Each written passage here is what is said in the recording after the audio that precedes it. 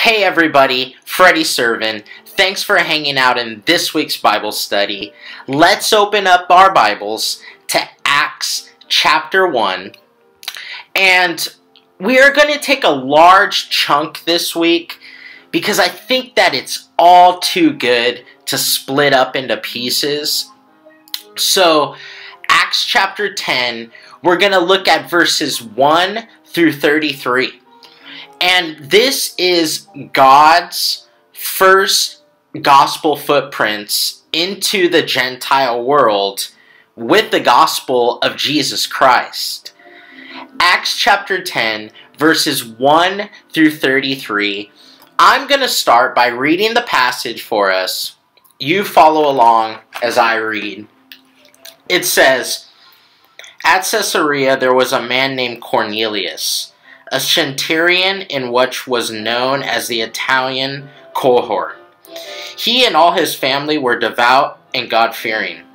He gave generously to those in need and prayed to God regularly. One day, at about the th- at about three in the afternoon, he had a vision. He distinctly saw an angel of God who came to him and said, Cornelius. Cornelius stared at him with fear what is it, Lord? he asked. The angel answered, Your prayers and gifts to the poor have come up as a memorial offering before God. Now send men to Joppa to bring back a man named Simon, who is called Peter. He is staying with Simon the tanner, whose house is by the sea. When the angel who spoke to him had gone, Cornelius called two of his servants and a devout soldier who was one of his attendants. He told them everything that had happened and sent them to Joppa. About noon the following day, as they were on their journey and approaching the city, Peter went up on the roof to pray. He became hungry and wanted something to eat. And while the meal was being prepared, he fell into a trance. He saw heaven open and something like a large sheet being let down to earth by its four corners. It contained all kinds of four footed animals as well as reptiles of the earth and birds of the air. Then a voice told him, Get up, Peter, kill and eat. Surely not, Lord, Peter replied. I have never eaten anything impure or unclean. The, vo- the voice spoke to him a second time Do not call anything impure that God has made clean. This happened three times, and immediately the sheet was taken back to heaven. While Peter was wondering about the meaning of the vision, the men sent by Cornelius found out where Simon's house was and stopped at the gate. They called out asking if Simon was known as known as Peter was staying there. While Peter was still thinking about the vision, the Spirit said to him, Simon, three men are looking for you. So get up and go downstairs. Do not hesitate to go with them, for I have sent them. Peter went down and said to the men, I'm the one you're looking for. Why have you come? The men replied, We have come from Cornelius the centurion. He is a righteous and God fearing man, who is respected by all the Jewish people. And a holy angel told him to have you come to his house so that he could hear a message from you. Then Peter invited the men into the house to be his guest. The next day, Peter started out with them, and some of the brothers from Joppa went along. The following day, he arrived in Caesarea. Cornelius was expecting them, and he called together his relatives and close friends. As Peter entered the house, Cornelius met him and fell at his feet in reverence. But Peter made him get up. Stand up, he said. I am only a man myself. Talking with him, Peter went inside and found a large gathering of people. He said to them, You are well aware that it is against our law for a Jew to associate with a Gentile or even visit him. But God has shown me that I should not call any man impure or unclean. So I was sent for. I came without raising any objection. May I ask why you sent for me? Cornelius answered, Four days ago I was in my house praying at this hour. And at three in the afternoon, suddenly a man in shining clothes stood before me and said, Cornelius, God has heard your prayers and remembered your gifts to the poor. Send to Joppa for Simon, who is called Peter. He is a guest in the home of Simon the tanner, who lives by the sea. So I sent for you immediately, and it was good for you to come. Now we are all here in the presence of God to listen to everything the Lord has commanded you to tell us. Some people view God's involvement in creation something like a watchmaker who made a watch and wound it up and sat it down to let it run on its own. Some people view creation and God's relationship to creation that way. God might have been hands on at some time at the beginning of creation, but now he's hands off. He's letting things just work itself out in creation on their own, in their own way. Well, we know better than that concerning God and His involvement in creation. God is no less involved today than when He was powerfully speaking it into existence by His Word. We know better than that. We know today his son is upholding all things by the power of his word. In him, all things hold together atoms and molecules and, and even universes. There is no room for a watchmaker thinking about God and his involvement in creation.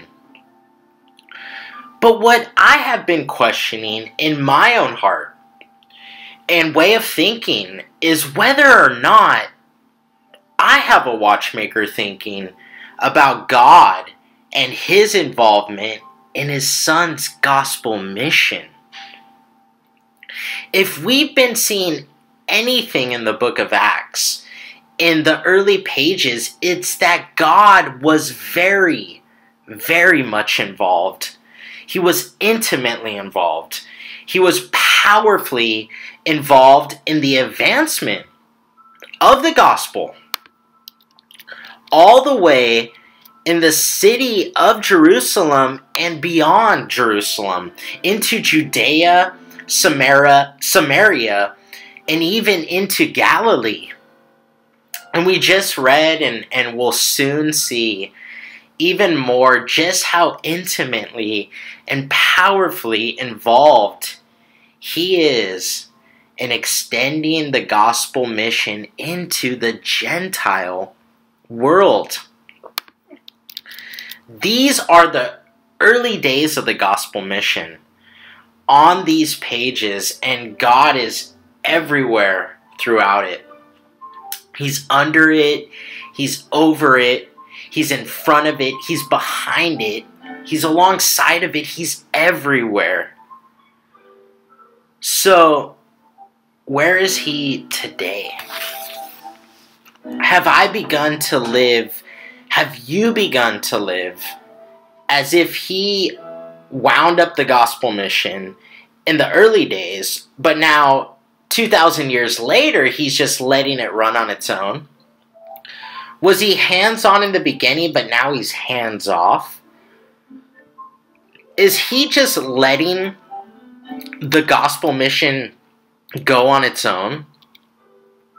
Or by our own in- ingenuity? Well, I hope we know better than that. Concerning God and His gospel mission, today let's remind ourselves of what we know to be true what we know to be true as we continue to watch God's early involvement in the extending gospel mission from a very, Jewish region into a very Gentile region. There is no room for a watchmaker way of thinking about God in regards to the involvement of his son's gospel mission. So let's trace his hand, let's trace his fingerprints, let's watch the footsteps of his undeniable work in the early pages of the gospel mission.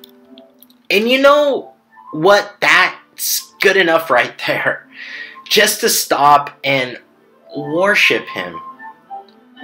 He is in control of the gospel mission. It will succeed. We could see it from the earliest days. He loves his son's gospel mission more than Peter does. He loves it more than all of us put together. So let's just worshiply marvel at his undeniable presence as the gospel is preached from one city to another, from one soul to another. Let's allow Acts 10 to motivate us to trace back his fingerprints and footsteps, even in our own coming to Christ. How was it that I ever became convicted of my sin? It was God. It was God. He was closer than I ever knew. How was it that you were just in the right place at just the right time to hear the gospel when you did? How was it that you grew up in the family that you grew up in and heard the gospel those many years and you came to faith in Christ? How did that happen? You didn't determine that. God did. He was closer than you ever knew. How was it that you were willing, Christian, to turn from your sin that you loved and would not give up? God's fingerprints were all over your radical change and deep change of mind. And how was it, Christian, that you found Jesus to be so appealing to you? How? It was God. That's how. God has never been a spectator. God has never been a watchmaker watching how the gospel was running apart from him. He's not in the cheap seats. He's not in the box seats. He's actually on the fields making the plays. So let's go back to the early days of the gospel mission as it was expanding just like Jesus said it would to a very Jewish centered world to a very Gentile filled world. Four steps this week. Four steps that God alone took to extend the gospel mission into the Gentile world. That's what this passage is all about. And number one, the first step, it's an angel's vision for Cornelius, verses 1 through 8. In verses 1, God's first step begins in a home of a of an Italian soldier stationed in Caesarea.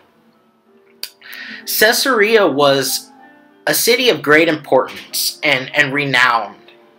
It was a capital city of the Roman province of Judea. And Cornelius, it says in verse 1, was a centurion of why and what was known, excuse me, of the Italian cohort. These cohorts of soldiers were made up of volunteers. These Italians were not drafted, they were not slaves, forced to become soldiers. These were volunteers, men of usual character they wanted to do this and serve. there are more than 32 of these Italian cohorts spread throughout the Roman Empire, and Cornelius is not just a member of them, it says he's a centurion over one. This means he had a hundred of these men under his care in Caesarea. These Italian cohorts were considered to be the most faithful and loyal troops in all of the Roman Empire. They were not reckless devils or martyrs just looking to kill recklessly, but instead they were steady, determined, convinced, unmovable leaders who would stand their ground no matter what. They would die defending the cause that they were to defend, and that's how Cornelius is described in verse 1. On a completely different level in verse 2, notice how he is described. It says he is a devout man. That word means he's godly. And the New Testament does not throw that term around carelessly or casually. This brave Italian soldier was a godly man according to all the right standards. And also, it says in verse 2 he was a man that feared God.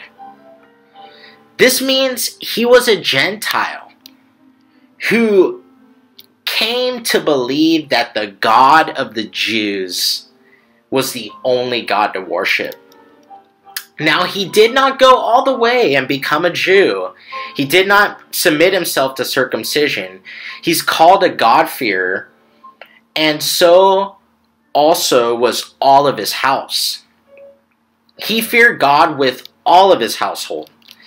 That means his family, down to his servants, his family had been impacted, impacted. His household had been impacted by his worship of Yahweh, the God of Israel. And it says in verse 2 he gave alms to the Jewish people. That means he was a charitable man. He was generous. He gave to the Jewish people gifts, money, food, whatever it was that they needed, he was moved by mercy. Mercy that he had for the Jewish.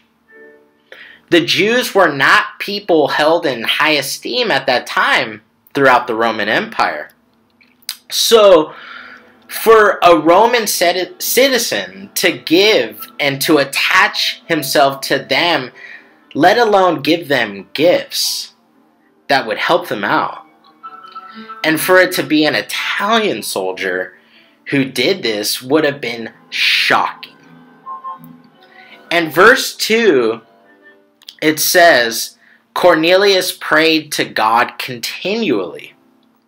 He was a beggar, begging God continually, and it was such at this time in verse 3, he was praying at 3 in the afternoon. 3 p.m. in the afternoon. It's the evening sacrifice. In the midst of that prayer, that's when heaven, when God sent him a visitor, it says in verse 3 that an angel of God had just come in and said to him, Cornelius.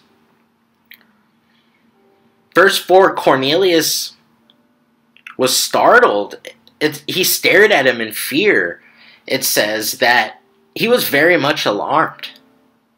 A brave Italian soldier, one who had risen above all the others with enough guts and courage and confidence to be able to command a hundred of these other brave soldiers, is alarmed.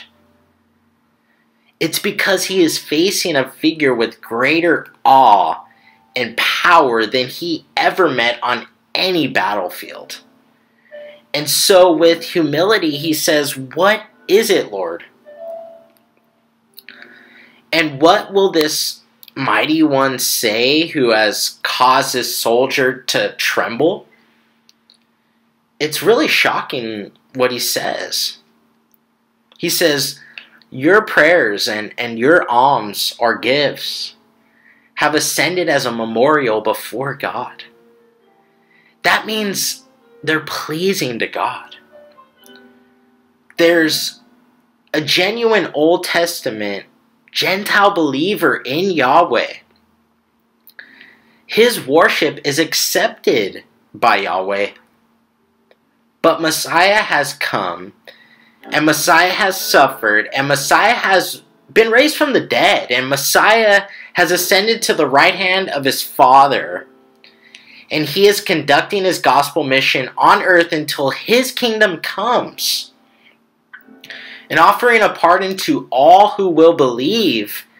And Messiah's name is Jesus, a man from Nazareth. And Cornelius does not know him. Cornelius's genuine Old Testament worship of Yahweh, it anticipated the one coming, but now Cornelius's worship must transition from Messiah anticipating to Messiah knowing. And Messiah loving. And Messiah dying. And Messiah obeying. That's really what this passage is all about. And how is it going to come about? Verses 5 and 6. This heavenly being has directed for him. It says in verse 5 Now send men to Joppa to bring back a man named Simon who is called Peter. He is staying with Simon the tanner, whose house is by the sea. So this heavenly being has directions for Cornelius. So Cornelius did not hesitate, verses 7. When the angel spoke to him and had gone, Cornelius called two of his servants and a devout soldier who was one of his attendants. The devout soldier is called the same thing Cornelius was called. He's a godly man, so he had a personal attendant who was a soldier who was a godly man like Cornelius was. Three Gentiles from his household will go to Joppa to get Peter. Verses 8 After he explained everything to him, he had sent them off. He explained everything to them so that they would understand perfectly just what it was they were supposed to do. So that's so that there was no hesitation, no mix up in any of the mission. Why? Why do it this way? Why is God going through an angel through this whole process? Why didn't the angel just preach the gospel to Cornelius?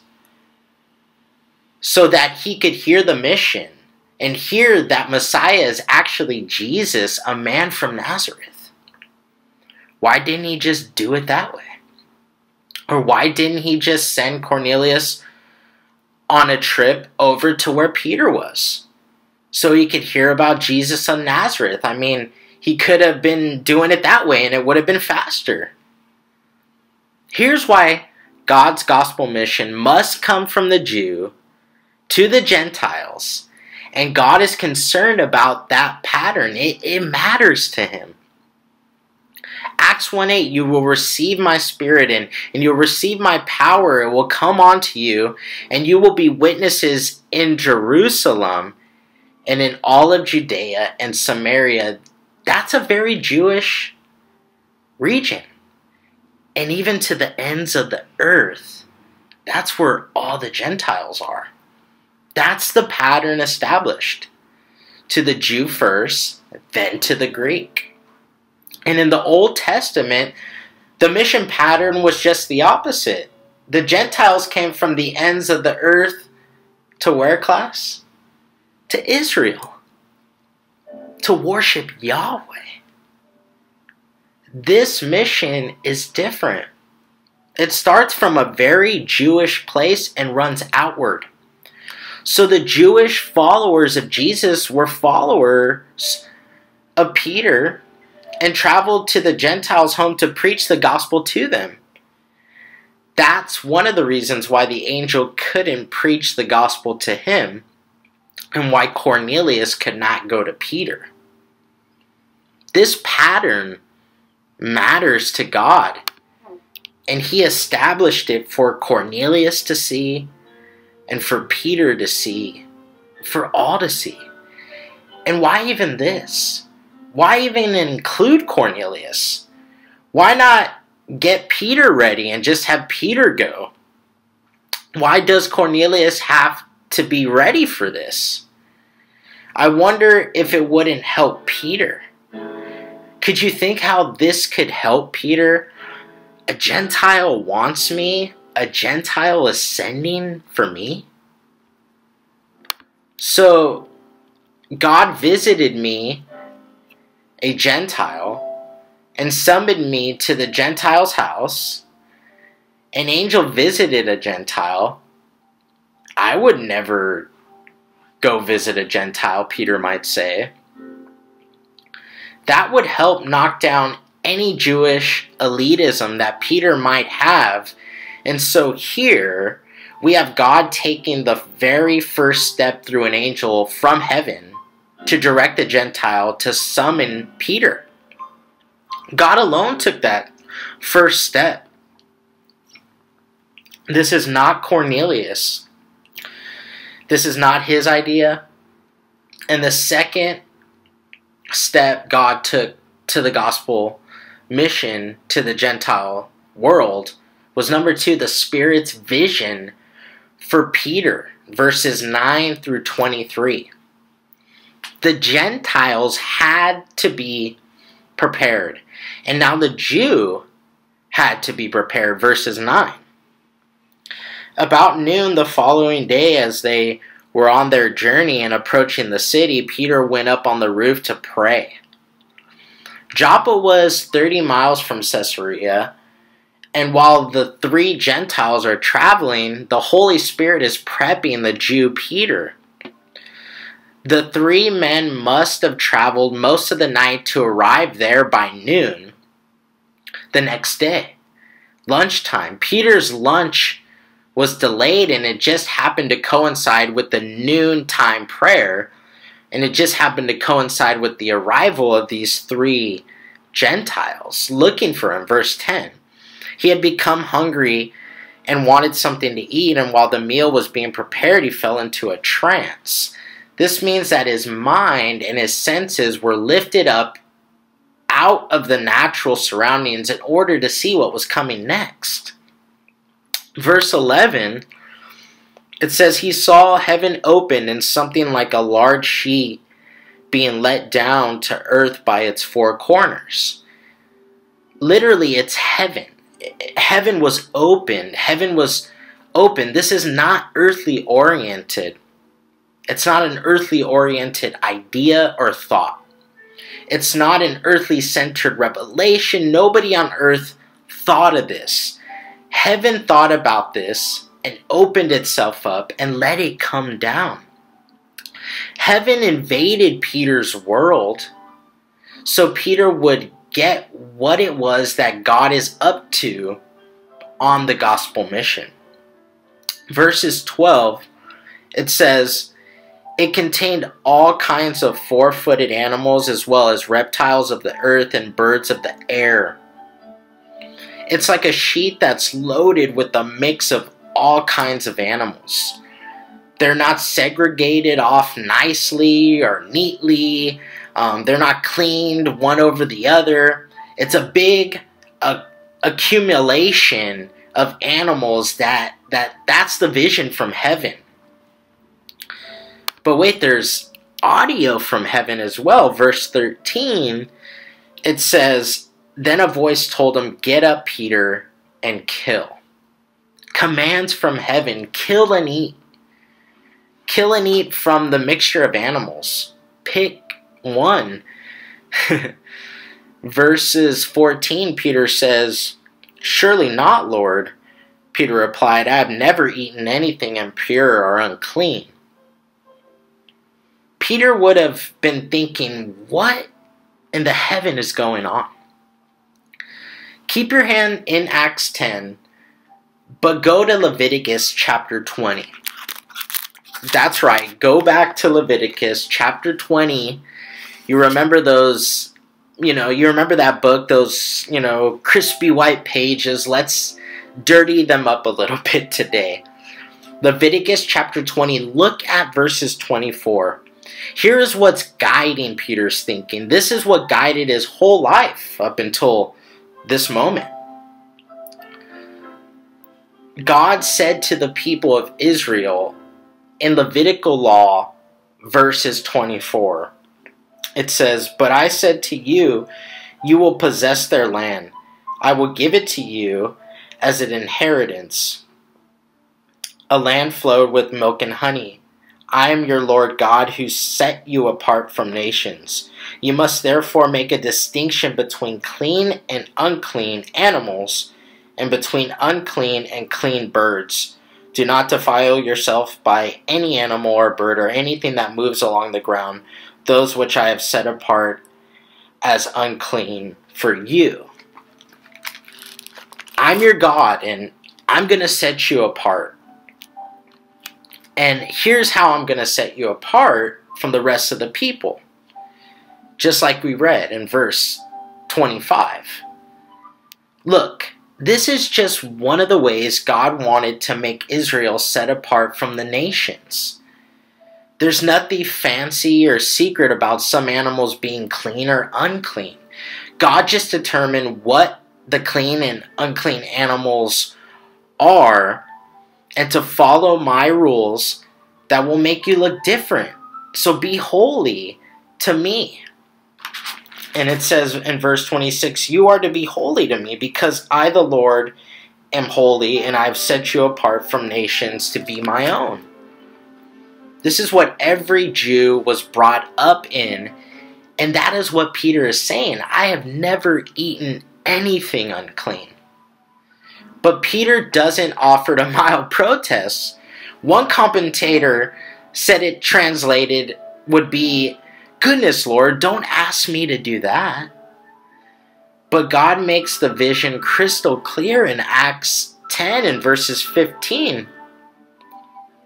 He says, The voice spoke to him a second time Do not call anything impure that God has made clean. Now, Peter is only thinking about food at this point. He's hungry and lunch is late. He knows nothing about three Gentiles on their way to invite him into another Gentile's home in Caesarea, and this happened. Verse 16 three times, and immediately the object was taken back up into heaven. This was a radical step that God was taking. God is going against what he earlier commanded the Jews. God is making clear that this is from heaven.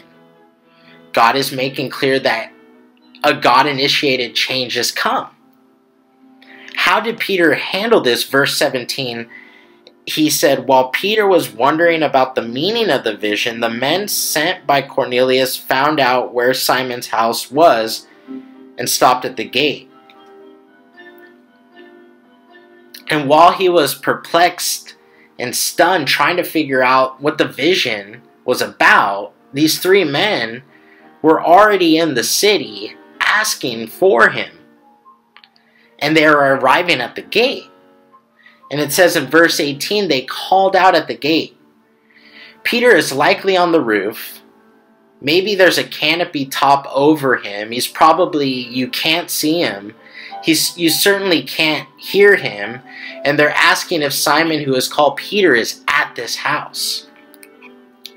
Verse 19 What was Peter still doing? He was reflecting on the vision and that is when the Spirit is identifying and is speaking to him. The Spirit said to him, Behold, three men are looking for you. Get up, go downstairs without hesitation, and go with them, for I have sent them. So the Holy Spirit says, I send three Gentile men to you Kind of like I just sent you three sights from heaven coming down, three sheets coming down, all kinds of uncleanness in there. I send three men to you and command you to go down and accompany them. Go with them without any misgivings. Does Peter make any headway in his understanding at this point? I think he does. Look at verse 21. It says, Peter went down and said to the men, I'm the one you're looking for. Why have you come? The men replied, We have come for Cornelius. He is a righteous and God fearing man, and is respected by all the Jewish people. So Peter went right down there and said to them, I'm the one you're calling for. The three men, knowing Peter is going to have an obstacle in his mind about visiting a Gentile, they do everything possible they can to clear out the obstructions by saying, We were sent by Cornelius. He is righteous and a God fearing man, is respected by all the Jewish people. So you have nothing to fear, Peter. He's a righteous man. He's a God fearing man. He's well spoken of. Nothing to fear, Peter. And he was directed, he was commanded by the Holy Spirit to send you to his house to hear a message from you. Well, how could Peter resist that? Did Peter begin to get what was going on? I think he does absolutely. Look at verse 23. Don't read past verse 23 too quickly when he says, Then Peter invited the men into the house to be his guest. This was his initiation. It is not his house, it's Simon the Tanner's house, but he took the initiative. And he invited them in. And more than that, Peter is ready to travel with them to go to Cornelius's house. Look at verse 23. The next day, Peter started out with them, and, and some of the brothers from Joppa went along. An entire household of Gentiles. They're going to see. Now, it says that there are some other Jewish believers in Messiah there, and they came along to see what on earth and in heaven is going on. Now, you don't read anything in verses 9 through 23 and think, you know what? Peter's a progressive thinker. Peter is on the cutting edge of missionary ideas. You don't think that at all anywhere. The only one who was on the cutting edge was the God of heaven who was powerfully at work preparing a Gentile and is now preparing a Jew. An entire household of Gentiles waiting to hear from a Jewish follower of Messiah Jesus those two parties have come together to meet. One message comes throughout loud and clear, and the message is, is that God is in control. God is. God is in control. He is transitioning the gospel mission from Jewish territory into the Gentile world. The third step that God took alone was related to the second. It's an expansion of the second. It's a it's the persuasion. Peter has come a long way since verse 23, but just how far has he come? How persuasive was God for Peter? Well, you get to see that through Peter's own words. Look at verse 24. It says, The following day he arrived at Caesarea Cornelius, Cornelius was expecting them, and he called together his relatives and close friends. As Peter entered the house, Cornelius met him and fell at his feet in reverence. But Peter made him get up, and he said, Stand up, for I am only a man myself. So, What has Cornelius been up to? He must have planned, he must have timed it, trying to time it in such a way that all his friends and relatives would arrive at the time when Peter would be, be coming. So the house is full of Gentiles and they're waiting for a Jew. Can you just appreciate that? We are so far from that. So far removed. We read that and it doesn't mean anything to us. But this is why we need to get into the context. You got to get into their days. This was shocking. This was not going on anywhere else in the Roman Empire. Why did it, what did it take for this to happen? Well, that's easy. An angel of the Lord and the Holy Spirit, that's what it took. Working through visions. What did Peter experience when he walked in? He's walking in I know he's a centurion. He probably knows now he's an Italian. He's one of those guys. He runs a whole Italian cohort. I'm going to that guy. He walks into his house in verse 25. It says, As Peter entered the house, Cornelius met him and fell at his feet in reverence again. But Peter made him get up, and he said, Stand up, for I am a man myself. Surprise! Wasn't expecting that one. Peter probably thought that. An Italian warrior laying at a fisherman's feet, a follower of Jesus. Quickly, Peter helped him. Verse 26 Stand up, and he said, I am only a man myself.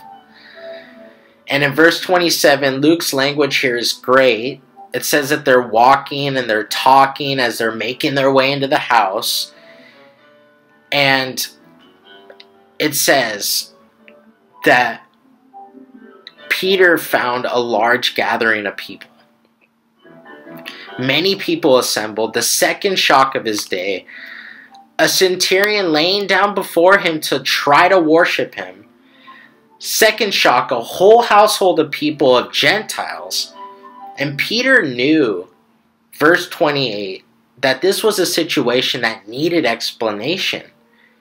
He stated what he knew that they knew as Gentiles. Look at the emphasis, verse 28. It says, He said to them, You are well aware that it is against our law for a Jew to associate with the Gentile or visit him. But God has shown me that I should not call any man impure or unclean. Wow. Look at the emphasis there. He's saying, You know, Gentile, that this is against my law for me. You know it. For a Jew to associate with the foreigner, let alone to go visit them, this is something forbidden and you know it. So what is Peter doing here? Verse 28 God has shown me. It says God he Peter says God has shown me that I should not call any man impure or unclean. Do you think that Peter is persuaded by God at this point? I think so. Peter and the Gentiles all knew that God commanded through the Old Testament scriptures to live a separate life from the Gentiles around them. They all knew this. They were aware of that.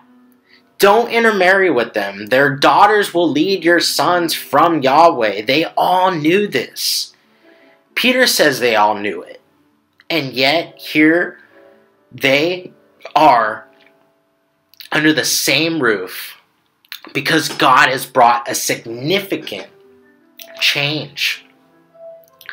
Listen to this Jewish followers of Messiah, Jesus, are not to apply those separation laws from Israel to the gospel mission of the church. That's what God said. We sep- what separated the Jews from the Gentiles is not to separate the Christians from the Gentiles on the gospel mission Do you understand that? That's a huge fundamental shift. The gospel mission for the church is not to be constricted by separation laws for Israel. God made that clear to Peter. Now, why has this ended? Because Messiah Jesus has come. It has to end. How clear was this to Peter? Verse 29. So when I was sent for, I came without raising any objections. May I ask why you have sent me? Peter doesn't claim to have all the dots connected all by himself. God made it clear to him. Peter's intuition, Peter's progressive thinking wasn't even involved. His ingenuity wasn't even involved. God alone worked and persuaded Peter without a shadow of a doubt to be there with the Gentiles. The last step that God alone took to arrange this, number four, God's congregation of the Gentiles. This is God's congregation of Gentiles in verse 30. Cornelius's explanation of why they're all sitting there. Four days ago, to this hour, that's when an angel visited Cornelius. And it says, I was in my house praying at this hour. At three in the afternoon, suddenly a man in shining clothes stood before me and said, Cornelius, God has heard your prayers and remembered your alms to the poor. Send to Joppa for Simon, who is called Peter could you imagine this? I mean, could you put yourself in Cornelius' shoes? Could you imagine an angel coming into your presence and saying, Your worship of Yahweh is pleasing? What a huge encouragement for a Gentile to hear that it's pleasing. All Cornelius knew was he was supposed to do was to go send for a man named Simon Peter in Joppa verse 32, it says, Send to Joppa for Simon, who is called Peter. He is a guest in the house of Simon the tanner, who lives by the sea. And can you imagine Peter? Peter's thinking, I was 30 miles away four days ago, and an angel from heaven knew me and knew where I was staying and had this Gentile come get me. Cornelius obeyed and sent. Verse 33. So I sent for you immediately, and it was good of you to come. And Peter obeyed, and you have to have been kind enough to come, Peter. You've been kind enough to come.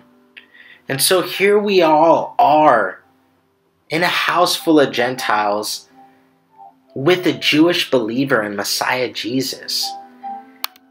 And who in this moment is Cornelius most aware of? Look down. Now, we are all here in the presence of God to listen to everything the Lord has commanded you to tell us. Cornelius knew this was all of God and not of man. Cornelius knew he didn't arrange this. And he knew Peter didn't arrange this. And what are these Gentiles presented for? Verse 33 To hear a message, to hear all that you have commanded by the Lord, to hear all of it. Cornelius was interested. Cornelius was not interested in Peter's opinion.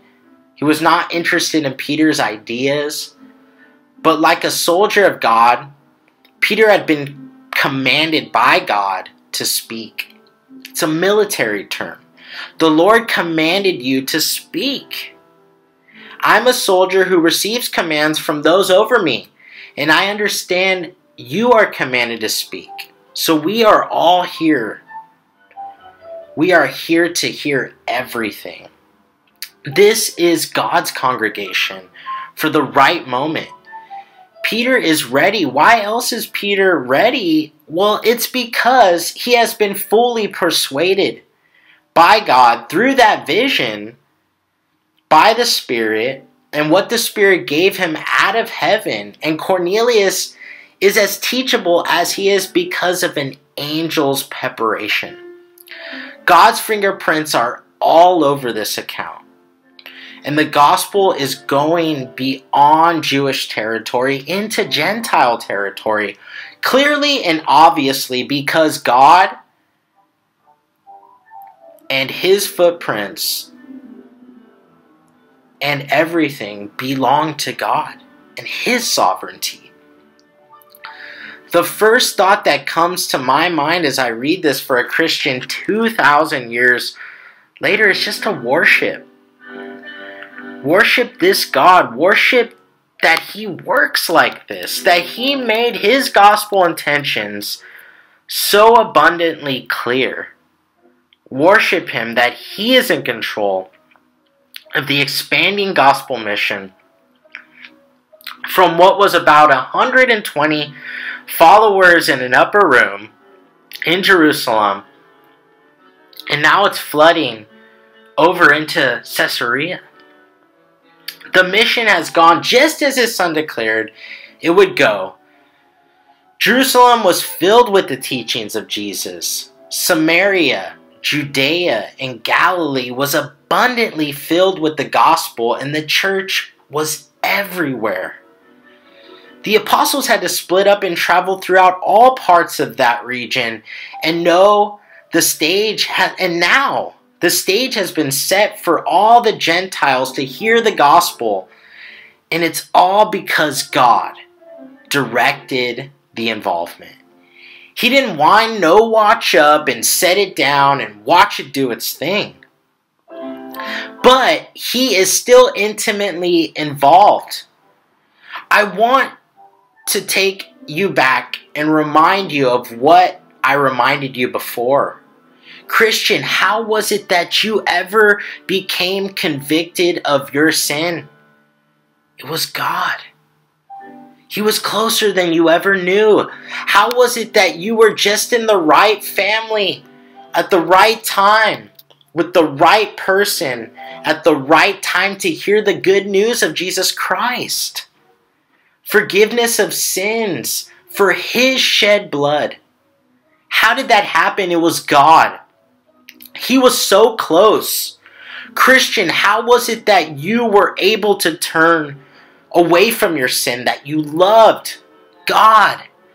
His fingerprints were all over the radical change of mind. How is it that you found Christ to be so desirable? God. He was very near. He wasn't a distant spectator. He was no watchmaker watching from a distance what you were doing apart from him. He was close enough to cause you to be born again. Do you remember that, Christian? He was close, and we sit all together online with the week out in front of us, the Christmas week out in front of us. Jesus' birth. What's true this week? In regards to the gospel mission, what's true? Is God a spectator? Is he off watching? Is he off running? Oh, Christian, step forward with faithfulness in the gospel mission, knowing that he is intimately involved, he is powerfully involved, just like he was for your own conversion. How is it that that lost one that you know, how is he gonna, or she, ever going to become convicted of his or own sin? How? Well, God, yes. But you, being faithful, having courage, stepping where you know God is working. Trust God that He is still at work, bringing conviction of sin and how will those that are lost ever hear about Jesus and forgiveness of sin through him? How are they going to hear if a preacher is not sent, how will that one of God and his kindness, how will they ever know and be led to repentance? Who is it going who's going to be the one to be in that lost one's life at just the right moment? It's got to be you and it has to be me. With courage and faithfulness for what we've been called to be as witnesses of Jesus Christ. Step forward. Test God this week and next week. In the Christmas week. God, are you intimately involved? I'm going to take a step. I'm going to risk it all. I'm going to open my mouth. Are you there? Find out. Find out. God is at work through his faithful servants. So, as we step forward into the Christmas week, let's close our time in prayer. And I just want to walk you through a couple of main points in our prayer.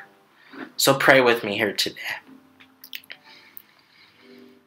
Heavenly Father, thank you for this time. Thank you for this gift, Lord.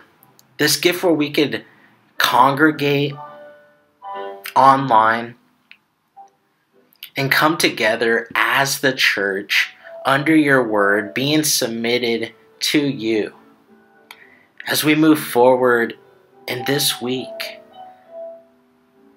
the true Christmas story, the birth of your son, the birth of your son, and what have been what have been known in society in those days and in our days as being born in an unclean place, Lord. But what you have commanded is that whatever you call to be clean is clean. And so this week, Lord, may we not call any person impure. May we not call any person uncommon. May we be submitted to you, going forth, being your witnesses, bring, being the teachers and the preachers sent to, to tell the good message, Lord, to tell the good news of your Son and why he came to bring forgiveness through his shed blood and salvation, hope, in this season. So thank you, Lord, for your Son, Jesus. Amen. Well, thank you guys um, again for being here and gathering this week, um, congregating and just submitting ourselves under the Word of God. From our family um, here, we just want to wish you guys a Merry Christmas. Um, we'll see you very soon. Um, have an awesome week and remember to go forward this week. Test God. Be faithful with the message, the only good news of Jesus Christ. Amen. Thank you guys. Have an awesome week, and I look forward to seeing you soon.